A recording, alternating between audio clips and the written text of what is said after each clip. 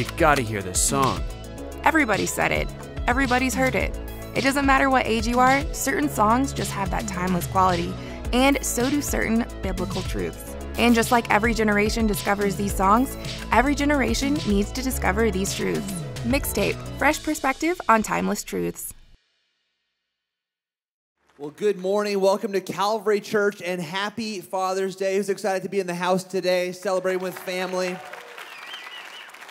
Well, hey, pre mark your Bibles to Romans chapter 12, verse 9 to 20 for a Father's Day message I've titled, I Won't Back Down. And as I was preparing this message, thinking through this, I was reflecting on being a father personally and on my desires for my kids, the desire that my kids would grow up to live healthy, godly lives. And the reality that every single father, really every single parent, we want what's best for our kids, don't we? We want them to grow up and live full and satisfying lives.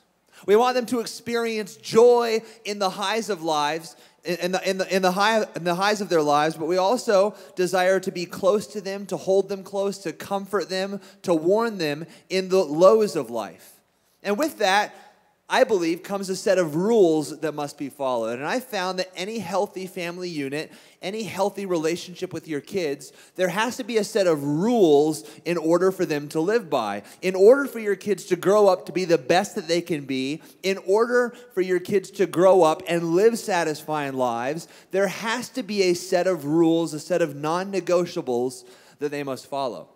As a matter of fact, when your kids abide by those rules, they find freedom and truly begin to enjoy life. Don't believe me? Just look at families who don't have rules. Anyone ever seen those families that they let their kids do whatever they want? Just run amok and, and do whatever they want and say whatever they want. Do those people look like they're really enjoying life? Do those kids look like they're really enjoying life? Because every parent knows that there has to be structure in order for there to be relationship.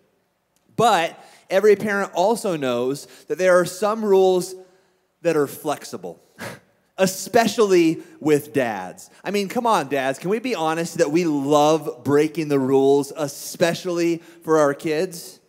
Maybe I should be asking the moms. Moms, don't we know that dads love breaking the rules, right? When mom's out of town, all the rules fly out the window, don't they? And, and I think that that's because dads love being the fun one, don't we? We love being the one that the kids have fun with, that the kids can't wait for dad to get home because they know that dad's gonna spoil them, dad's gonna let them do things that mom wouldn't let them do. But have you noticed that when mom goes out of town, even if it's just for a couple hours, all the rules fly out the window, right? There's unlimited TV and video game time. Pizza is for dinner every single night and for breakfast and for lunch, and all the boxes stay on the countertop until mom gets home. If the kids get a little too hard to deal with dad, the answer is always ice cream. I promise you, it's just like this secret thing. If the kids are getting hard, ice cream fixes everything. When mom's out of town, bedtime becomes an abstract conceptual idea at best, and it can change at any time. If the kids are good, they can stay up as late as they want if the kids get a little bit too hard to deal with, bedtime is at six o'clock. I, kids, I think it's bedtime. It's only six o'clock. Yep, it changed. Bedtime's now at six o'clock. Jumping on beds and wrestling in the living room becomes an Olympic sport, and the prize is a broken lamp. All the linens, all the towels simply become tools and material for the best fort ever right? Dads love being the fun guy. They love being the guy that the kids want to hang out with. And we really like to break the rules. Come on, dads. Can, can, you agree with me on this? We are notorious for breaking the rules. I guess I'm the only one. Okay, there we go. There's some honesty. But as fun as a dad can be, every kid knows that there are some rules that can never be broken. There are some things in every single home that are non negotiables. Does any family in here have any non negotiables, any rules in your home that your kids know they can't break? They know that if they do that thing, all hell is going to break loose. There's no argument, there's no gray area. If they even think about breaking those rules, they're going to get in trouble. And those rules have to be abided by if those kids want to stay in that home. Some of those rules in our house is that you respect your mom. I always tell my kids, she was my wife way before she was your mother, so you show some respect when you talk to my wife. You can't use any foul language, that's another one. Don't hit your sister. Don't talk back. We go to church together if we're in town together, especially on Father's Day. And my kids know that I won't back down on these things. And you might have some others in your life. And well, dad might be fun, and while certain things might be able to flex a little bit, my kids know that if they don't abide by these rules, dad can bring the heat just as quickly as dad can bring the fun. And I think it's important for kids to know that. I think it's important for there to be structure within the home and for each family to have a set of these non negotiables because they're not there to make life miserable, but rather the opposite. They're there because if children abide by these rules, their lives will be better for it. Because once your kids know that there's certain things set in stone, they can begin to work within those rules and truly enjoy life and build better relationship with you and with God. You know, the people that I look at that have the best relationship with their kids, both when their kids are young and older, are people who, yes, they were fun, yes, they enjoyed life, but they had a set of rules, a set of non negotiables, a code that the family lived by. It's those who didn't have a code, those who didn't have rules, those who didn't have structure, those are the people who end up later on in life having a strained relationship with their children. Well, today we're going to look at an intensely practical section in the book of Romans. The first 11 chapter of Romans, and we're going through that right now in heart and soul, are all about what God has done for us. But here in Romans 12, it signifies a change and it shows what our response to Him should be. And Romans 12 reads like a set of exhortations that are almost like a series of proverbs. And here in Romans chapter 12, verse 9 to 21, we come to God's non negotiables. These are the things that in this family, the family of God, the body of Christ, these are the things that our Father has set as non negotiables. They're the things that He says, I won't back down from these things. And if you do these things, if you abide by these principles and these rules, you are going to enjoy life and live in better relationship with me. And so I believe that these rules these non negotiables shouldn't just be God's non negotiables, shouldn't just be the non negotiables for the body of Christ, but they should be our family's non negotiables. They should be your family's non negotiables. And I believe that if we lead our families based on these principles found here in Romans 12, I believe that our families, our church, and our city will be better because of it.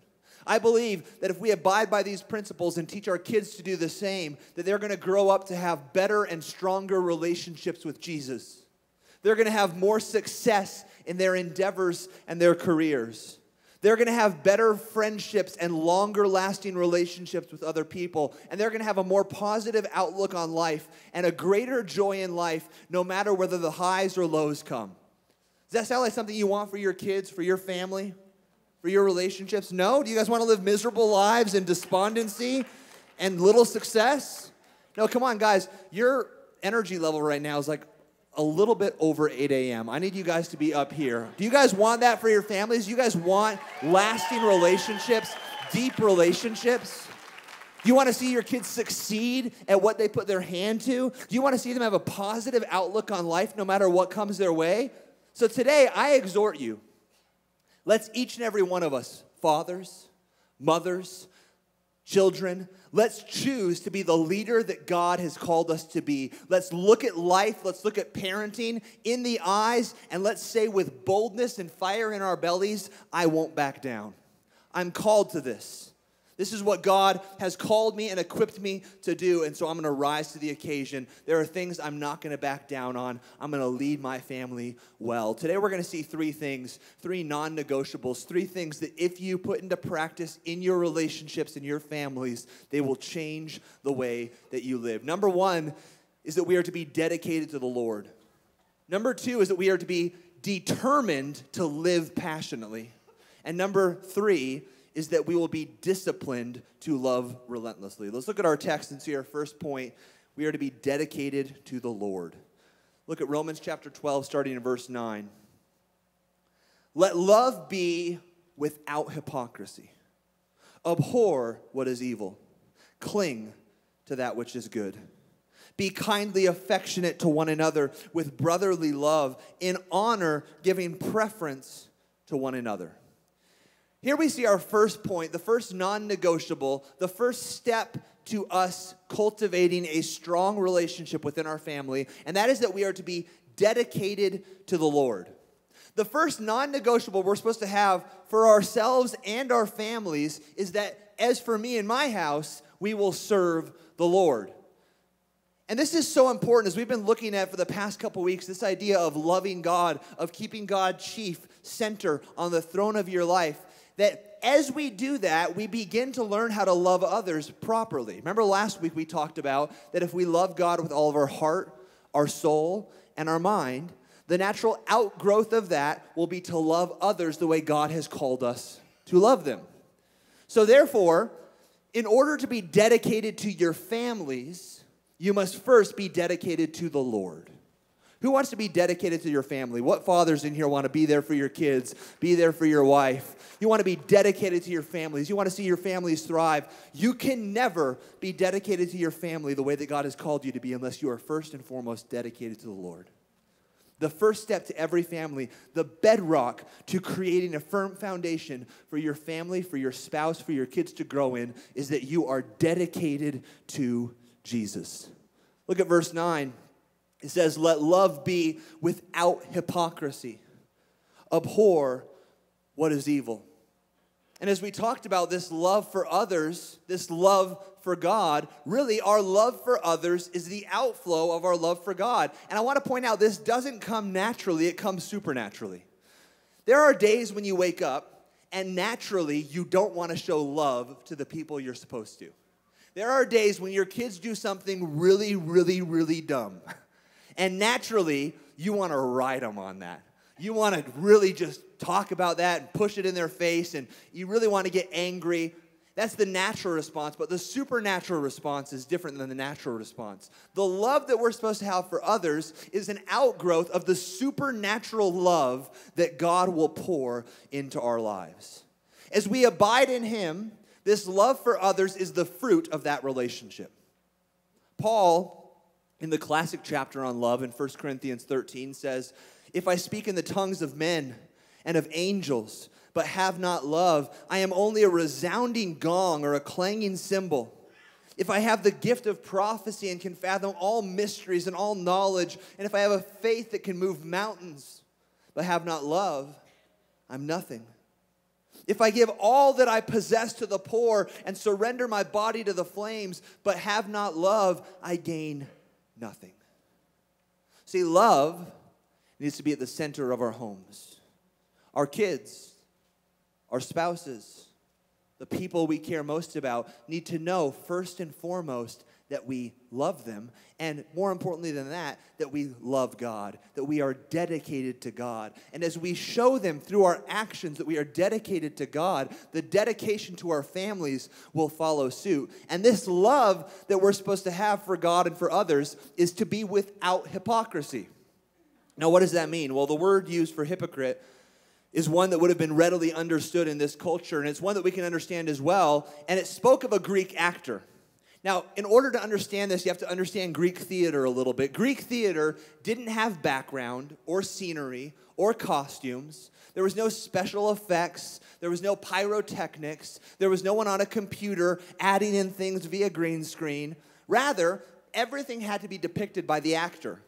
And the way that they would do that is the actors would carry masks, and these masks were made with different expressions on each mask, so the audience could clearly see if the character was depicting an emotion of a tragic, a comic, or a melodramatic. And so the actor would walk about stage holding these masks, and occasionally they would lift the mask to their face to show the audience the emotion they wanted to convey. So, in context, what Paul is saying is that a true believer can't wear masks. A true believer must be absolutely truthful. See, scripture tells us not to love merely in word, but in deed and truth. Donald Barnhouse said, True love has to leave the stage and walk the paths of real life. Dads, moms, children, can I exhort you? To not just love God in word, but to love God in deed and in truth? Can I let you know that no one can sniff out hypocrisy and a false sense of spirituality than kids? When you say one thing in church, when you lead your family by coming to church and you sing songs, but then go home and say something that lives in the exact opposite of what you've been trying to tell them at church, they see that. They see through that, that hypocrisy, that mask that you put on, and that affects them. We need to be families that are truly dedicated to the Lord, not just in word, but in deed and in truth. That we don't just say something, we don't just practice something here at church, but we go home and in our families, in our homes, we live it. It's evident that our kids can look at our lives and say, My parents are dedicated to God. They love God with all their heart, their soul, and their mind, and that leads them to be dedicated to our family as well. That when we get in a fight with our spouse, we're mindful of what we say in front of our kids. That when we're watching that game and our favorite team doesn't play the play the way that they were supposed to, and we want to say all those bad words really, really, really bad that we bite our tongue. And we're mindful that we watch what we say in front of those impressionable minds that God has given to us to nurture and to raise. Really, the outgrowth of this is verse 9. It continues Let love be without hypocrisy, abhor what is evil. Now, this goes hand in hand with loving without hypocrisy, and this is really what it means to be dedicated to the Lord. This will be a natural outgrowth of dedication to God. And that is that for love to be pure love, it has to look like God's love. And God loves good and hates evil. Did you know that hatred is actually a Christian virtue? And you say, well, wait a second, that doesn't sound right. As a matter of fact, we don't use the word hate within our homes. That's one of our non negotiables. That's one of our rules and standards. We don't use the word hate, but hate is a Christian virtue. And you say, wait a second, I know love, peace, patience, kindness, goodness, long suffering. Hatred's not on that list, but hatred is a Christian virtue. Hatred is an attribute of God. God hates hypocrisy. God hates false religiosity. God hates sin and God certainly hates evil. Isaiah 114 says, "I hate the hypocrisy." This is God speaking. "I hate the hypocrisy of your new moon festivals and your appointed feasts. They have become a burden to me. I am weary of bearing them." He's speaking of ritual without relationship. Again, if you come to church, sing the songs, say that you're a Christian, tell your kids you have to go to church, but then go home and act like you never heard a thing that was said and act like you don't know anything the Bible says. That is ritual without relationship. That is new moon festivals and sacrifices and offerings. And God sees that and He says, if there's not relationship behind it, if it doesn't change the way you live your lives, you conduct your families, you treat your kids, you treat your spouse, you treat the people that you come into contact with, if it doesn't change the way you live, all it is is hypocrisy. The greatest weakness of the church today is that we have such a tolerance for evil. Some Christians are far too tolerant with evil in the world in the church today. But if you love God with all your heart and you love your neighbor and your fellow Christians, you're naturally going to hate that which is evil because evil tarnishes the relationship that we have with God. Evil tarnishes the relationship you have with your spouse. Evil tarnishes the relationship you're supposed to have with your kids. Evil tarnishes the relationship you're supposed to have with others. And so, because we're dedicated to the Lord, that leads us to be dedicated to our families, and we hate, we abhor that which is evil because we don't want it to tarnish those that we love the most. Moms, you look at what's on the box when you grocery shop, right? You look at what's in the food that you prepare, that you feed your kids. You want to make sure it's nourishing, that you're giving them a well balanced meal. You don't just put a thing of spam on a plate and say, here you go, enjoy. Well, is there anything else? Nope, that's it. Again, dads are notorious for pizza every night of the week if moms are gone. Moms are notorious for making sure that their kids are well nourished. Dads, the job falls on you to look on the backs of the box that your the things that your kids are putting into their minds spiritually and emotionally. the content your kids consume, the music they listen to, the friends they spend time with, the movies they watch, the places they go. Your responsibility is to look on the back of the box and make sure that what they're putting into their system is well balanced, that it is nutritious, that it is acceptable for righteousness to build them up, to bring within them the knowledge of God. We need to abhor that which is evil, cling to that which is good, make sure we're building our families up, building our houses up upon righteousness, dedicated to the Lord, and then dedicated to our families. Abhor could be translated be constantly hating that which is evil. We need to understand that evil is something that can't be tolerated at any level. We have to hate it with a passion. But the problem is we've become so jaded, so passive and accepting of it all to the point that we're not even spotting and abhorring sin when it's in our own midst. See, what was wrong 10 years ago isn't wrong today. What was wrong 20 years ago wasn't wrong 10 years ago. It's constantly changing. And so we have to have that set of absolutes. We talked about this the first week the absolutes that God gives us. That is the line that we draw. That is the line that we say, if it crosses this line, it's evil, and I'm not going to allow it into my home. We have to be mindful of the people our kids want to spend time with, the friends that they have, that they bring home, the people that they date, the people that they spend time with, the people that you're allowing a voice into their lives. We have to be mindful of that. We have to recognize what that is because if we're not careful, it can seep in to our own midst and we don't even realize it. You know, I'm actually an advocate of sending kids to public school because I think it's important for them to learn to defend their faith. Christian school is also good. It's, it's, it's good to have other believers around. But if, as parents, we send our kids to school and then expect the school system to take care of them and raise them, we're missing the mark. Even if they're going to a Christian school, if you expect that Christian school to be the basis for their knowledge of God, you're missing the mark when they go to school and they hear things that are said, they hear their professors talking. If when they come home, you're not having conversations with them about what they're hearing, what they're exposed to, you might be exposing them inadvertently to evil, and they might not grow up to have a firm understanding and knowledge of God unless you take that initiative that God has called you to and you raise them the way that God has called you to. The Christianity that many subscribe to today is no more than a cheap ripoff of the real thing.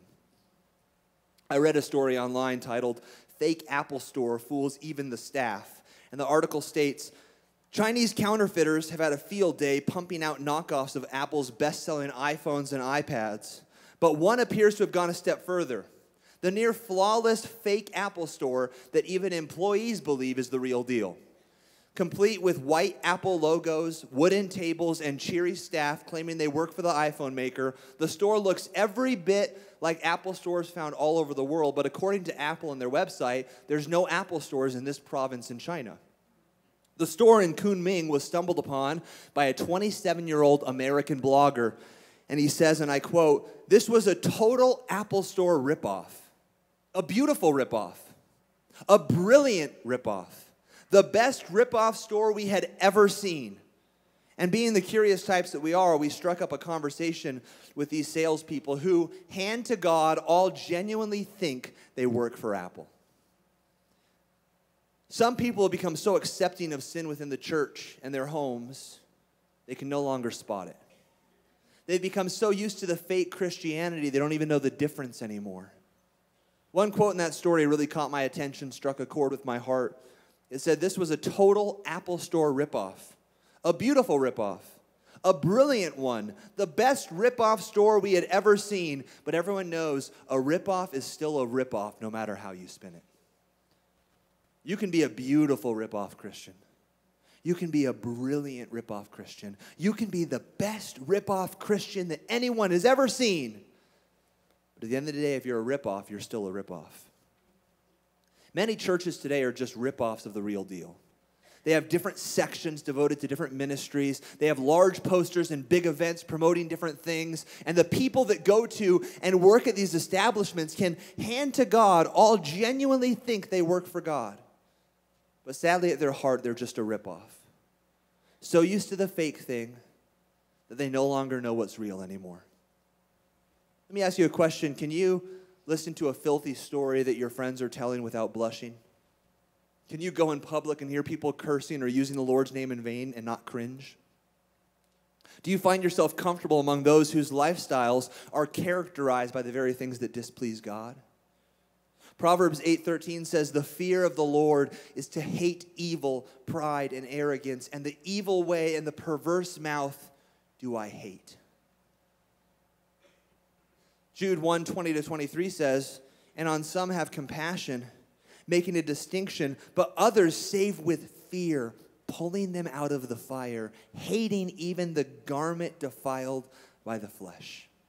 Jude is saying that when you go into the world to reach someone for Christ, you have to have a healthy fear of the things that have been defiled by the worldly system. You have to carefully rescue some people, individuals headed for hell, lest you get burned in the process. That's a really serious warning. And see, we as adults have a better filter. We have the ability to discern things. We have the ability, because of maturity, to see things and, and, be more careful in that process. But when we send our kids out into the lost and broken world, they don't have that same discernment, that same maturity. And so they can get so close to the evil in society, they don't realize that it's infiltrating their own lives and they're getting burned in the process. That's our job. God has called us to do that for them until they get to the age where they can do that for themselves. We need to be careful lest they get burned in the process. So we hate sin because we know how destructive it can be. Lot is a perfect example of a man who was compromised by the ungodly people around him.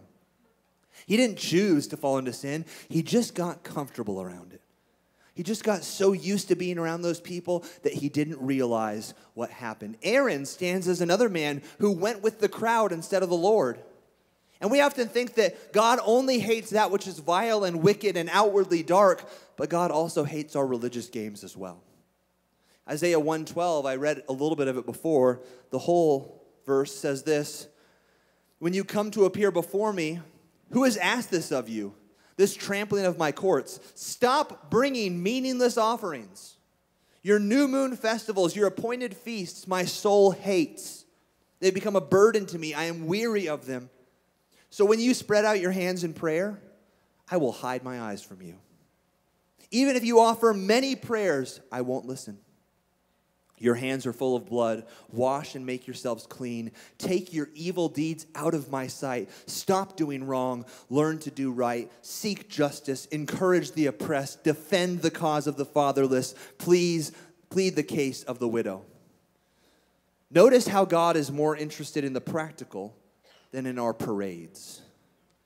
We can come and parade ourselves and say prayers and sing songs, but if we're not going home and living it before those that we care about most, it's meaningless. And God says, if you do that, I don't want to hear your praise. I don't want to hear your worship. I don't want to hear your prayers. I don't even want to listen to them. I'm going to turn my eyes from them. God hates our elaborate praise and worship if it doesn't practically affect us in the real world. Praise and worship is good, but it's got to affect the way that we live.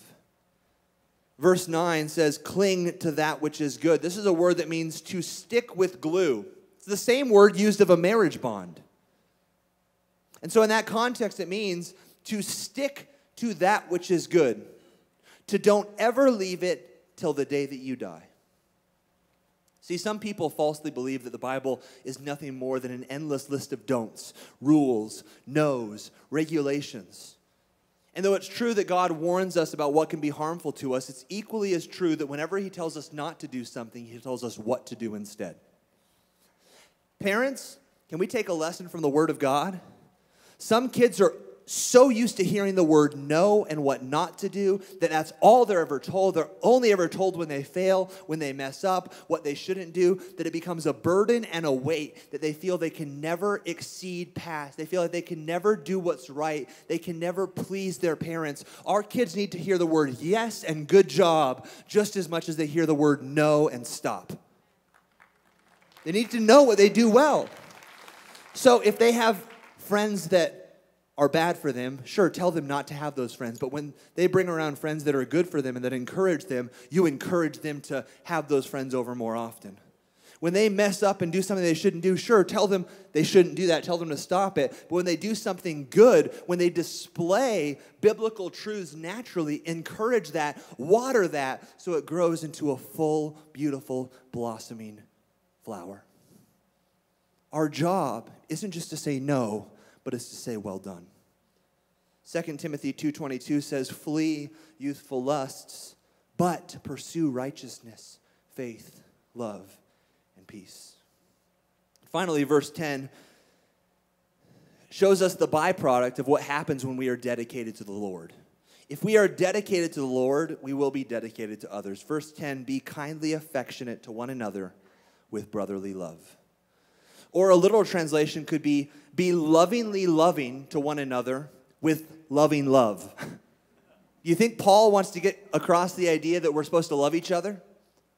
And then he continues on and he says, In honor, preferring one another. In the church and in life in general, we are always looking to meet our own needs.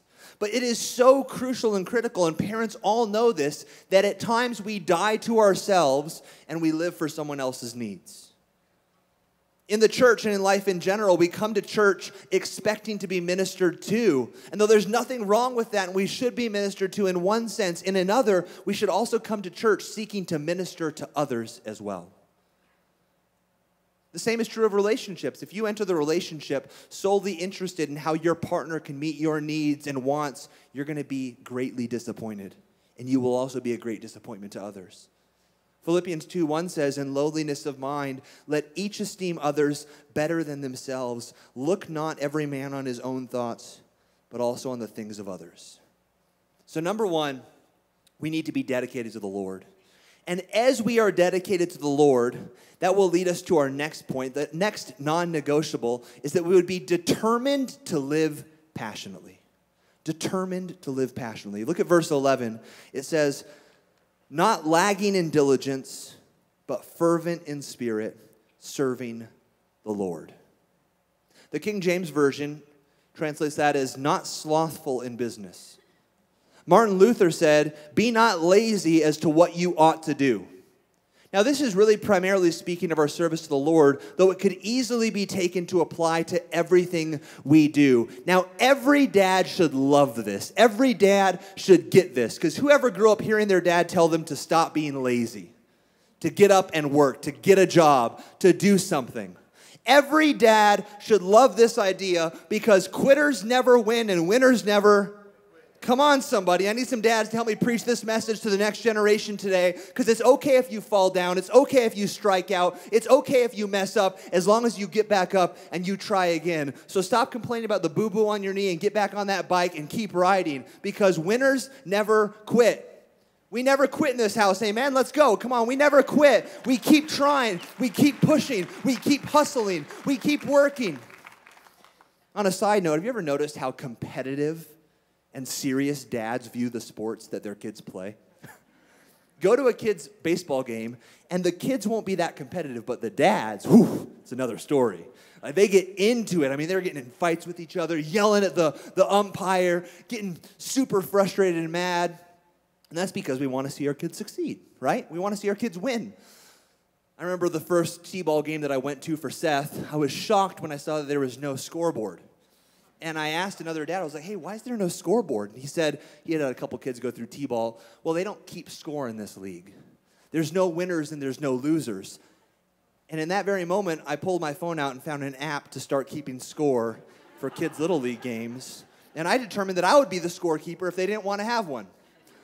And so after the first game, Seth got in the car, and I said, Seth, congratulations on winning your first game. And he said, Well, Dad, they, they didn't keep score. And I said, I did.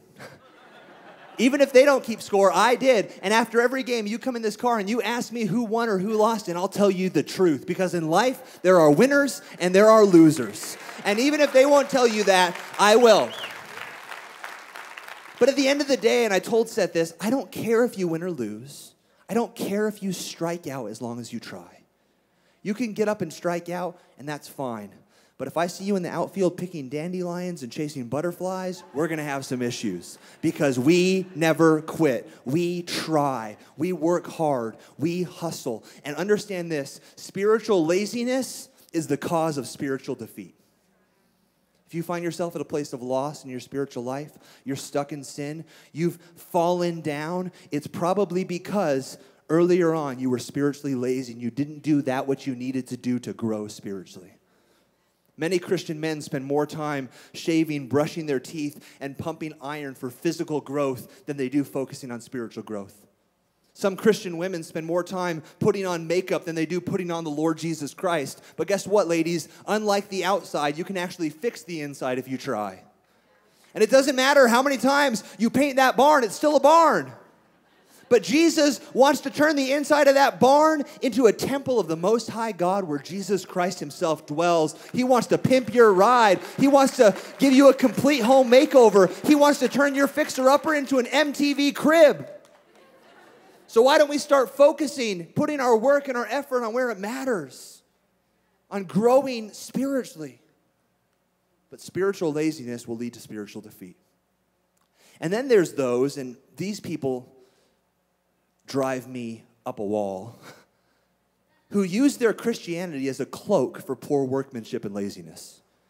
And they'll say, Well, you know, I'm not going to apply for, for jobs because I just trust that God's going to bring me something.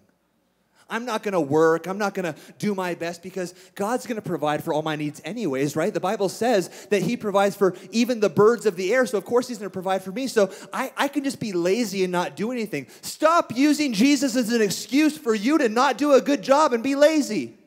We don't serve a lazy God. We serve a hard working God who prizes workmanships, who prizes when we hustle and do our best and do our best work and give our best to God, not our worst to God. So let's stop blaming God for our bad work ethic. If you have a bad work ethic, that's your fault, not God's fault. We as believers should be the best at what we do, not the worst. If you're a believer, you should be the best student, the best secretary, the best delivery man, the best graphic designer, the best farmer, the best builder, the best doctor, the best salesman, the best mother, the best father, the best whatever. Colossians 3:23 says, "Whatsoever you do, do it wholeheartedly as unto the Lord." Understand this, even if you're not in ministry on a stage, whatever you do when you go out here during the week, you're in ministry. And you're representing your, your God. You're representing your relationship to God by the work that you do.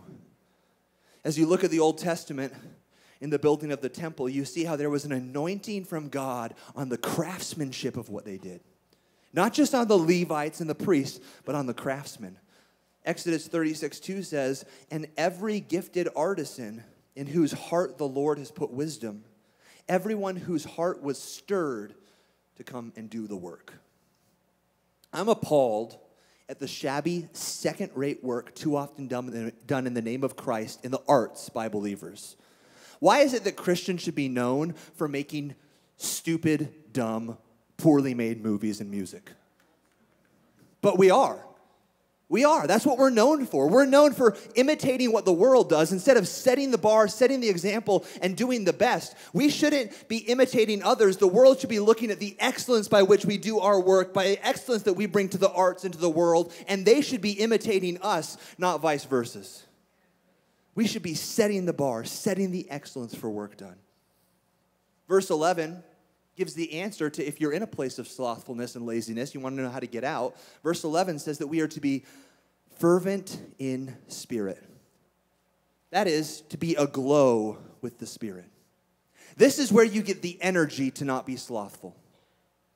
We need burning hearts like the two disciples on the road to Emmaus. Apollos was described this way as well. Where in Acts 18:24 it says, "And a certain Jew named Apollos, born at Alexandria, an eloquent man and mighty in the scriptures, came to Ephesus. This man was instructed in the way of the Lord, and being fervent in spirit, he spoke and taught diligently the things of the Lord. This is the answer to when you're at the end of your rope and you can't work anymore in your own strength. You have a secret weapon, and that's the Holy Spirit. And if you are fervent in spirit, aglow with the Spirit, you will work with excellence, realizing that you're doing it as unto the Lord, realizing that you have a secret weapon that the world, the secular world, doesn't have. The other people in business, the other people in the medical industry, the other people in the arts industry, they don't have, and that's the Holy Spirit. And He is a well that does not run dry. He gives you power when you have no power, He gives you creativity and ideas and strength that no one else has. John Wesley said, Give me a hundred men who love God with all their hearts and fear nothing but sin, and I will move the world. Twelve dudes changed the world. Imagine what 15,000 people, aglow with the Spirit, could accomplish. Imagine if each and every one of us went out into the world, went out into our place of business, aglow with the Spirit, fervent in spirit, determined to live passionately, to work hard, to hustle, to do our best. Imagine what would happen to this city, to this church, to your family. Verse 12 really gives us the answer to what happens if we live a life that is dedicated to the Lord, that is determined to live passionately. What we will have is something the world doesn't have, and that is hope we will have a hope regardless of what happens. Verse 12 says, rejoicing in hope. So often we see scenes of absolute hopelessness around us. And if we're looking to the systems and the schemes of man to get out of this mess that we're in, we're going to be disappointed. As the old hymn says, My hope is built on nothing less than Jesus' blood and righteousness. See, our hope is based on a knowledge that this isn't it that God's coming back, that no matter how hard life gets, even if you try your hardest, sometimes you fall. But when you have a hope in Christ, it doesn't matter because you realize this isn't the final chapter. There is coming a day when God's going to set things right and righteousness will flood the land. And it is this hope that acts as an anchor in our storms today and gives us a hope for our future tomorrow. Titus 2:13 says, "Looking for that blessed hope and the glorious appearing of the great God and our Savior Jesus Christ." 1 John 3 3 says, And every man that has this hope in him purifies himself even as he is pure. The last thing we see, and this is where we're going to close, our third point, is that we need to be disciplined to love relentlessly. And guys, this is something that I think we need to step up in because we as men are the protectors, and that's good. We should be the protectors of our family, the protectors of our home. But at times, we can take this too far and we can take vengeance into our hands. We can have someone hurt us and we can say, oh, oh they hurt me, they hurt one of mine. I'm going to hurt them way worse than they could even imagine. I'm going to punish them. Vengeance is mine. We can feel like the punisher in that TV show, like it's our job to hurt others. But we need to be, and we need to teach our kids to be disciplined to love relentlessly, to discipline ourselves, have self discipline, and love others. Verse 14 speaks to this when it says, Bless those who persecute you. Bless and do not curse. This word is in the present tense, which means something we do constantly to someone who constantly wishes us harm. Luke 6:27 Jesus speaks to this and he says love your enemies do good to those who hate you. And Jesus certainly practiced what he preached, what he uttered on that sunny sermon on the mount. He practiced as he hung on a cross on Golgotha. As did Stephen. And this takes discipline. This takes self discipline. We need to discipline ourselves to love others relentlessly. We need to teach our kids to love others regardless of whether or not that love is reciprocated, to love others even when our love for others is responded to with hatred. Verse 18 continues and it says, If it is possible, as much as depends on you, live peaceably with all men. Again, this is such a practical statement, and I'm so thankful that God added those words, if it's possible. Because sometimes it's not, right?